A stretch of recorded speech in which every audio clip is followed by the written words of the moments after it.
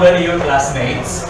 You know them already, the characteristics, the attitude of your classmates. You are going to write the positive and negative attitude of your classmate. But you are going to write it using one word only.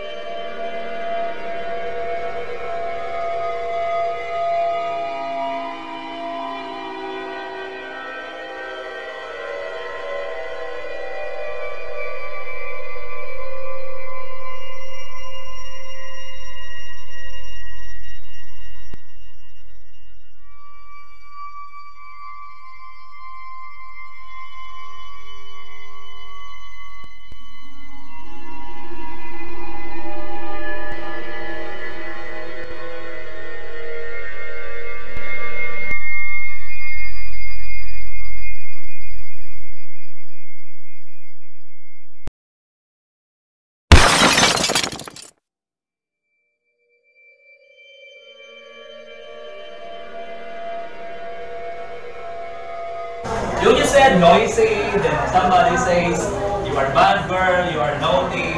Why do you say that is the worst comment? Yes?